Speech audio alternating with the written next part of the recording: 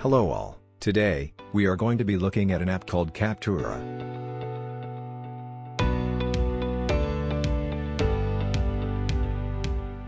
So, we first need to go to the GitHub page, and navigate to Captura.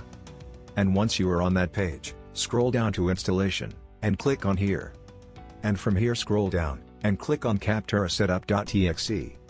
And once you download it, go ahead and install it. Now, open the app. The app UI is neat, with displays various options in separate tabs, starting with Video source to the video encoder, Audio, Webcam, and Screenshot. To take a screenshot you can either click on the camera icon, on the top left of the windows, or by hitting print screen on the keyboard. This app provides many options, and features similar to paid programs of its kind, with options like, adding webcam footage, keystroke, mouse clicks, into the screen recording. By going to Settings, and Overlays, shows preview of where each item is displayed in the recording, and you can easily drag each item to any position you like.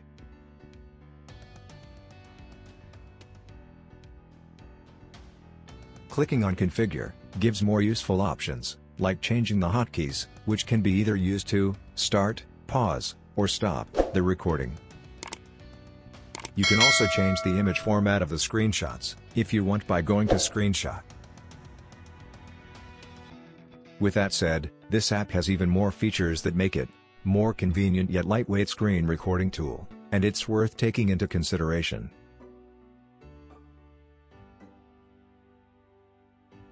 So that's it for today's video, if you like my video, and want to see more, be sure to click subscribe down below, and thanks for watching, have a nice day.